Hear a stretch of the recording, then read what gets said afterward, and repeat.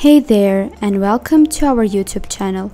In today's video tutorial we will learn how to send email to quiz takers after the quiz completion. Sending email to users can have various purposes like to boost your website engagement, to collect data of your users, or just to send a confirmation message or thank you message that they have successfully completed the quiz.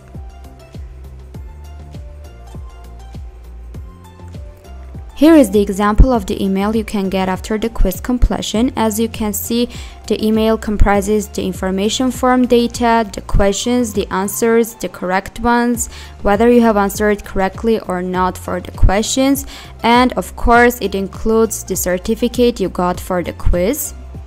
So let's create a quiz together to achieve this result. In order to create a quiz and send email to users after the quiz completion, we need to have the Quizmaker plugin installed on your WordPress dashboard. As you can see, I have already installed the plugin so as not to waste your time. Also, I have created the quiz, the testing quiz we will explore during this video tutorial. In a general tab of the quiz, you can see I have already added the questions of the quiz. In order to add questions to the quiz, you just need to click on the Add Questions button and choose your preferred questions. If you are wondering how to create questions, you just need to go to the questions page and add new questions. In order to create a quiz that will send email after the quiz completion, we need to have several options and settings enabled for the quiz. With the first step, we head to the User Data tab and scroll down to see the information form option.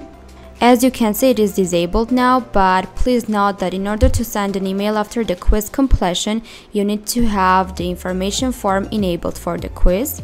You can set either after quiz or before quiz to display the information form. Uh, in our case we will display it before quiz. If you want the users to see their results and download the certificates only if they fill in the information form option, you can just set information form after the quiz. By scrolling down a little bit, we will see the available fields. We need to double click on a desired uh, fields to insert them into the active fields. So we need to choose the default name, email and phone if you want. Please note that you can insert any custom field you prefer, for example, gender. You can create new custom fields by going to the custom fields page. After choosing your desired active fields and configuring the settings of the user data tab, we need to go to the email and certificate tab of the quiz. Here you can see many different options. For today, we need to tick the send email to user option. By ticking the send email to user option, you can see many different sub-options here. Please let me explain each of them one by one. The first sub-option is the pass score checkbox. Once you tick this option, the users will receive email only if they get the minimum passing score for the quiz. The pass score option will be of use to those users who are creating an educational quiz and somehow want to test the user's knowledge. In order to set a pass score for the quiz, you need to go to the Result Settings tab and find the pass score option. Here you can set either by percentage or by points, whatever you prefer, and you can set quiz pass message and quiz fail message. So we go back to the email and certificate tab. In our testing quiz, we don't need the pass score option, so we untick this option. Then comes the email message option. What is great about the email message option is that it's a WP editor and you can insert uh, HTML codes here or insert message variables and achieve your desired result. For example, we can click on a message variables and choose the ones we prefer. For example, we can take the username and score here we can write, for example, thank you for thank you username for passing the quiz. You got then insert this message variable points for the quiz.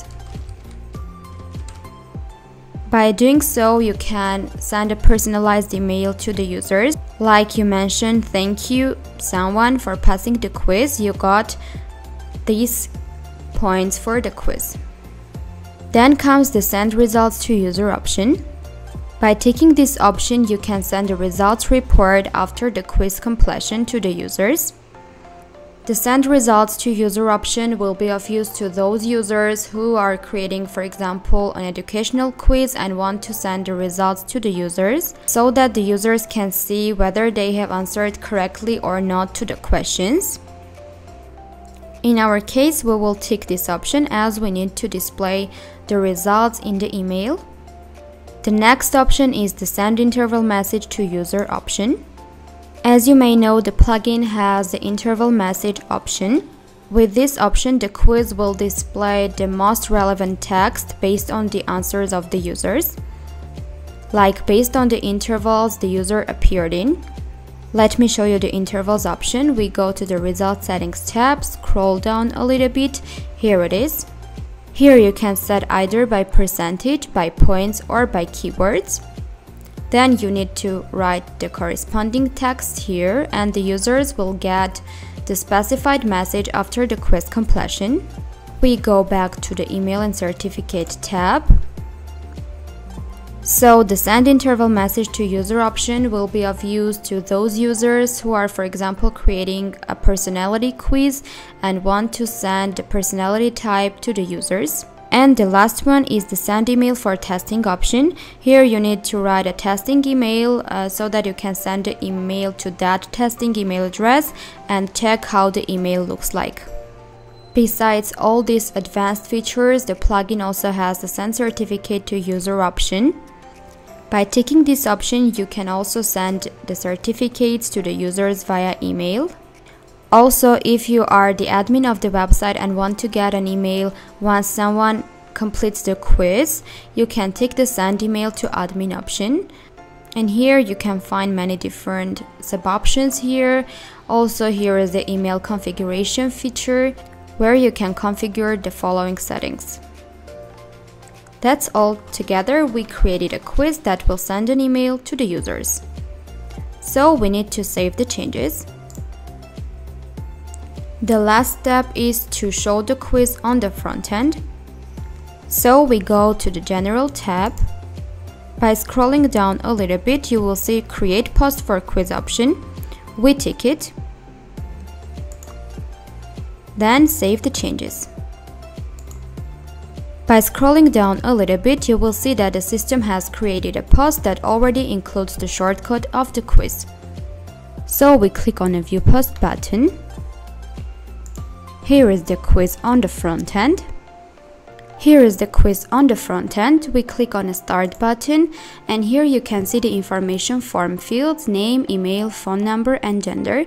We need to fill in these fields so that we can receive an email after the quiz completion. So we fill in this name and email.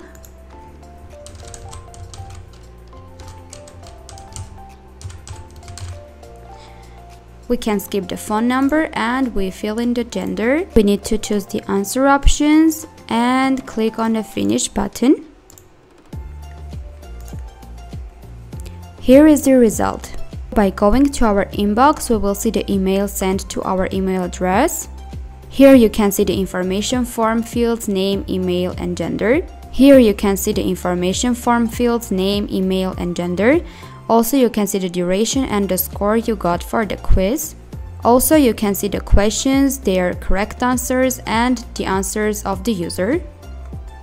By scrolling down a little bit, we will see the certificate sent to us.